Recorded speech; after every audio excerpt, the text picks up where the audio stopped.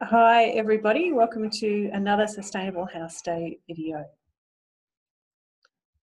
I'd like to start by acknowledging the traditional owners of the land that we live and work and create homes on, the Ngunnawal people.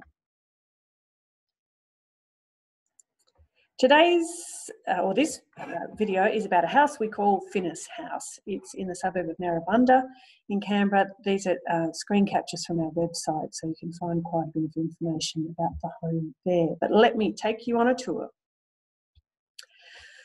First of all, the really cool thing about this house is that it splits into two. So we've got one home, it's only 165 square metres, but it's a fantastic family home. Uh, the main bedroom or the parents' bedroom is down here, two um, children's bedrooms um, at the front, lovely lounge room, a country style or farmhouse kitchen, which you'll see later, and another living space which can function really well as a guest room as well. But it has been designed to split into two residences in the future along this line, creating a downsized house for the, for the parents um, there's an access, there's already a door through here and a home study. Um, that gives them private open space in this direction and the car parking here. Um, this house or this part of the home has been designed to split into a single bedroom uh, home. The plumbing and everything is already in place in here for a kitchen. It's currently used as a storage room. It has a lovely glazed door at the end here. So this would become the kitchen and the living space the bedroom and the bathroom. And then this entry space could function as a study. Um, so you end up with a terrific uh, second home that, and potential rental income. Private uh, garden space and parking. So it's really been designed to function well as two homes. Going to take you on a quick walk through, um, following the green line initially, and then we're going to switch starting at the front and walk through um, following that yellow line. So let's get going. Okay, standing out the front, um, we are looking at the two kids' bedrooms here. Uh, what people would consider the front door now, which would be perhaps become the door to the single um, single bedroom residence at the front, and then there's another door down here that the parents already use in the home office. Um, moving down the driveway, we've used a lot of recycled bricks in this home heading into the house now. So we've come through the parents' entryway and we are looking into that home study. It's actually twice as big as this image shows. Um, it's got loads and loads of storage and works incredibly well as a home office. The main bedroom um, is a nice generous space. You can see the wide angled lens is stretching the room a bit, so it's not quite as big as this image suggests, but it is a nice, um, a nice main bedroom again with lots of built-in storage. The bathroom that's just uh, alongside that main bedroom, it's not, we refer to this as an off suite. So it's not a, a true ensuite, doesn't come directly off the master bedroom. These days, a lot of people are realising they don't want to listen to their partner in the bathroom um, and they might as well have the bathroom nearby, but not directly off the main bedroom. Lovely little bathroom. There's no toilet in this. The toilet actually comes off the laundry, which is the next space. A little shot of the laundry. Um, we're actually standing in the doorway of the toilet uh, to take this shot. It's got a nice glazed door out to the backyard. That's the multi, what we refer to as the multi-purpose room. So this is that second living space, which can also function as a guest bedroom. This is a fold-out bed. Um, nice connection through to the backyard. This is the farmhouse style kitchen. So when we say farmhouse, we mean it doesn't have a central island bench. Instead, the dining room sits within that kitchen space and the kitchen wraps all the way around. There's actually lots of storage on this side as well. It's an incredibly space efficient way to design a kitchen.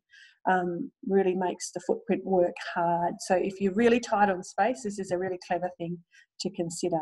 Um, our clients find it works beautifully. So that the dining table becomes um, a preparation space as well um, as, as the clients are preparing meals and then they get to sit down and enjoy it.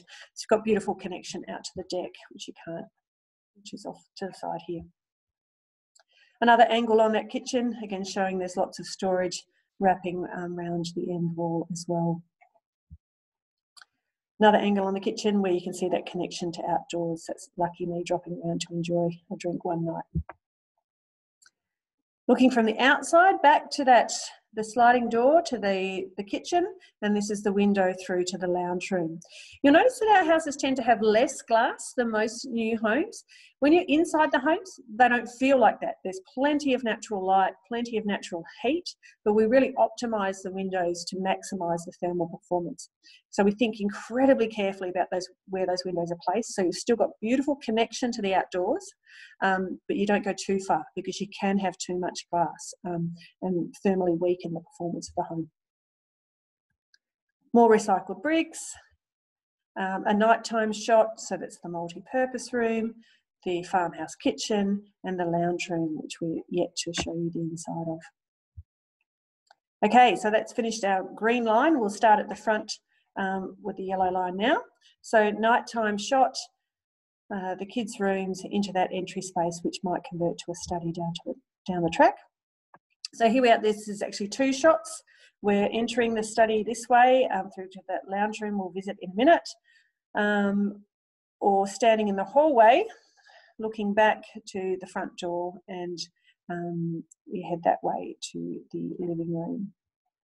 Um, one thing worth noting, this client uh, furnished and decorated their house entirely from um, uh, the green shed or the, the tip shops as we call green sheds here in Canberra, um, charity op shops um, and Gumtree. Um, amazing collection, a retro collection of furnishings and um, decorations. It's really gorgeous.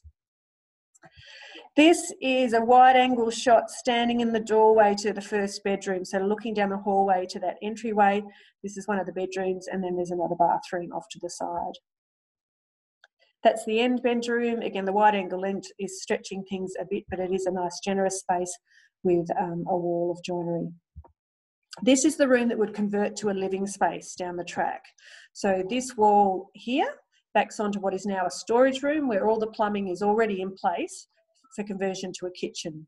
So this wall would come down, creating a kitchen and living space. That's the bathroom in the kids' wing. And then we head into the lovely lounge room, which is a gorgeous space to sit in.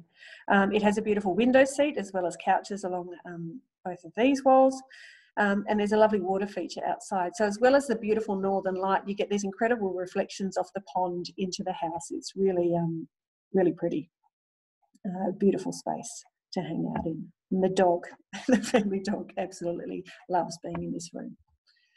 It's another shot looking toward that window, which overlooks the um, water feature and out to the yard.